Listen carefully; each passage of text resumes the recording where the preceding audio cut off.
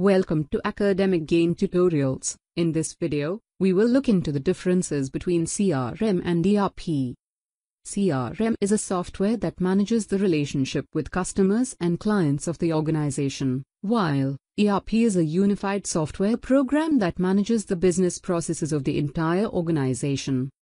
Customer Relationship Management, CRM, and Enterprise Resource Planning, ERP, are the two softwares which are implemented by the companies in their organization to increase their profitability.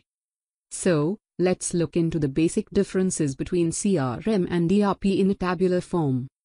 Difference number 1 CRM is defined as software that lets the organization to trace every transaction with the clients and customers, whereas ERP refers to a software program that helps the company to manage its business processes going on across the company.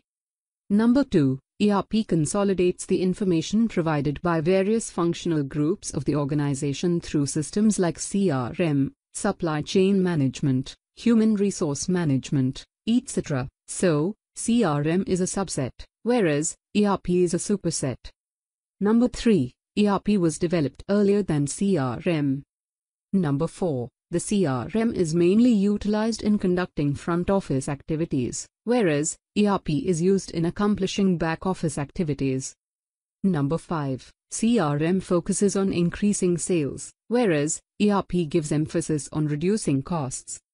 And difference number 6. CRM is oriented towards the management of customer relationship with the enterprise, whereas ERP is mainly concerned with planning the resources of the organization to ensure its best possible use.